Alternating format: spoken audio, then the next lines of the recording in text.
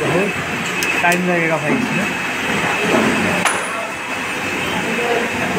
क्या पता प्रोग्राम है कि नहीं होगा नहीं तो बनाना पड़ेगा। नहीं, होगा साल के पास तो डालेंगे। लेकिन पड़ेगा डाल के वो। चेक कर रहा हूँ।